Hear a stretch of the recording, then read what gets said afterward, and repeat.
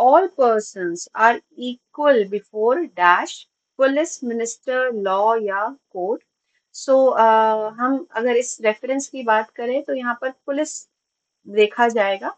Law के, क्योंकि police law को फॉलो करती है तो दोनों ही आंसर हो सकते हैं। पुलिस के सामने सभी लोग बराबर हैं और पुलिस लॉ को फॉलो करती है लॉ के आगे भी सभी लोग बराबर हैं।